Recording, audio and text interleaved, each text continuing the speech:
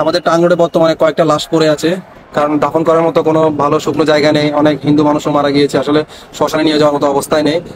ফেসবুকে দেওয়া এক ভিডিওতে প্রায় কোমর সমান পানিতে দাঁড়িয়ে সাইফুদ্দিন সবার কাছে জোয়া চেয়ে বলেন, পুরো শহর এখন বিদ্যুৎহীন অনেক কষ্টে ফোন সামান্য চার্জ করতে পেরেছি। পরিস্থিতি খুবই ভয়াবহ। ফেনীর বিভিন্ন এলাকায় আমার আত্মীয় স্বজন সহ অনেকেই চরম সংকটে আছেন। দয়া করে আমাদের জন্য দোয়া করুন। এই ভিডিও শেয়ার দেওয়ার জন্য বারোতলা উপরে উঠতে হয়েছে বলেও উল্লেখ করেন এই ক্রিকেটার। উল্লেখ্য যে, সব ধরনের খেলা থেকে বিশ্রামে রয়েছেন সাইফুদ্দিন। বিসিবির কাছ থেকে দুই মাসের ছুটি নিয়েছেন। ফলে চলমান কঠিন পরিস্থিতিতে বর্তমানে ফেনীর নিজ এলাকায় অবস্থান করছেন সাইফুদ্দিন। সেখান থেকেই ভিডিও বার্তায় ফেনীবাসীর দুর্দশার কথা তুলে ধরেছেন।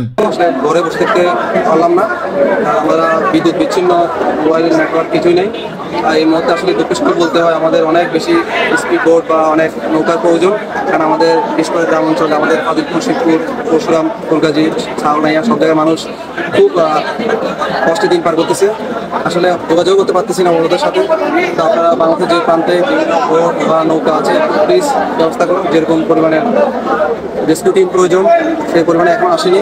আপনার কাছে অনুরোধ থাকবে, এই মুহূর্তে আসলে আমরা অনুরোধ করা ছাড়া কিছু করার নেই, কারণ আমাদের হাতে কিছু নেই নেটওয়ার্ক নেই যোগাযোগ করব কোথাও নেই তো সবাই ইনশাল্লাহ এগিয়ে আসুন কারণ আমরা খুব ভয়াবহ পরিস্থিতির মধ্যে দিয়ে আমাদের ফেরি মানুষ পার করতেছি। সবাই দোয়া করবেন। আমি ভিডিওটা আপলোড দেওয়ার জন্য প্রায় বারো তলার উপরে উঠেছি যাতে নেটওয়ার্ক পাওয়ার জন্য। অনেক কষ্টে হয়তো বা এই ভিডিও বার্তার পর আবার অনলাইনে থাকব না। অবশ্যই আপনারা যারা আসবেন, সহযোগিতা করবেন, অবশ্যই টাং রোডে আসবেন। এখানে অনেক স্বেচ্ছাসেবী কর্মী আছে। অবশ্যই আমাদের গ্রামে, বিশেষ করে লস্করহাটের পর বাজিরপুর শিবপুর ওদিকের মানুষ বা রেস্কিউ টিমে যেতে খুব ভয় পাচ্ছে। কারণ এখানে আসলে প্রশিক্ষণপ্রাপ্ত রেস্কিউ টিম ছাড়া ওইখানে কেউ যাওয়ার সাহস পাচ্ছে না।